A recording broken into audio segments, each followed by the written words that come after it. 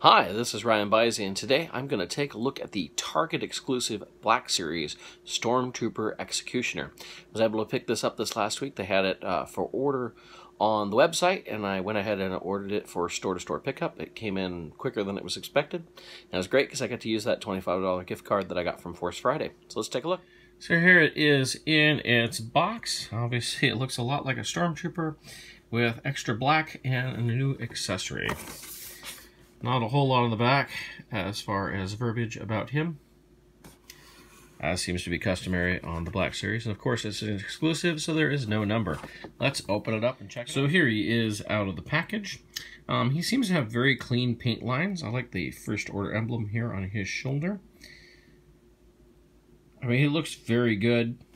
Turn him over. But I mean, ultimately, what I look at this is how different is it from the previous six-inch First Order Stormtrooper?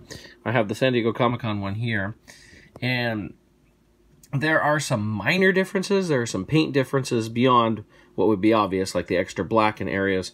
But like here on his belt, the one from Force Awakens has kind of a black line in there where painted, and this does not. Um, there are many places where we get black and such, where they look a little bit different, just slightly different paint schemes on some of this. Um, the only thing is this midsection here. If you look at the Force Awakens one, those two lines going up on his midsection seems to go, uh, they're kind of rounded. And here they definitely look much smaller and, um, I don't want to say more rectangular, but they definitely look different. That's about the only big molding difference that I've seen here.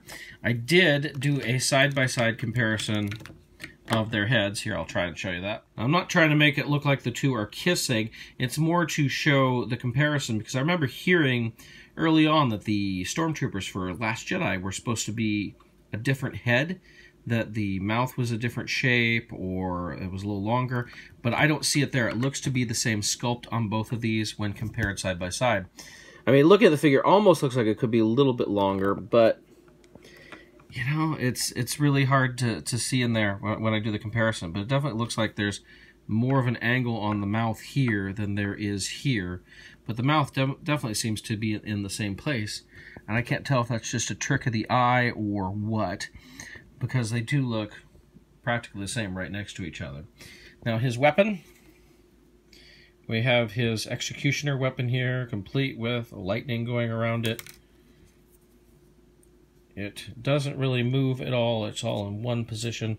I'm sure in the movie this opens up. Well, maybe it does move. Just a second. So you can take the lightning bits off and fold it all up like that. Kind of looks a little bent. I, I, don't know how it's exactly supposed to look in the movie. But uh, clearly you can fold all this up, which is nice. It's good to see that we, we do get that. Um, it's a very pliable plastic used for the rod, so I'm sure if you have this above his head or something, it will uh, easily bend. But um, still a nice little extra accessory. And that's basically the only difference besides a little paint between these two figures, it would seem. So with further inspection, I can tell these are actually a different mold. As you can see here, the black next to his mouth is fairly wide on the original First Order Stormtrooper, and on the Executioner, it's much slimmer. So this is definitely a newer mold on the helmet, or at least a uh, change to the mold. The more I'm looking at it, you can see a definite difference between the mouth line on The Force Awakens to The Last Jedi. So this appears to be definitely a new helmet. Also notice he's got silver paint in the vents there on the side of the helmet, which we didn't have here before. So there's a definite difference between these two. so this is not strictly repaint. Well, that's just kind of nice to see, isn't it? So as you can see, you get a pretty good action pose out of him. He looks very cool wielding his staff here. I don't think we've got an actual name on what the staff is called. But it's a very cool figure. Uh, obviously, it's only 20 bucks, so you're not going to spend a whole lot extra on this like some of the other exclusives. So uh, I would say it's worth pickup. Looks like that helmet is definitely a new sculpt. Um, very cool figure. So that was a look at the Target exclusive Black Series Stormtrooper Executioner. I've got several reviews lined up that I'm going to be working through. Uh, I'll be coming out over the next few days. So check them out and subscribe below if you have not already. Thank you so much for watching.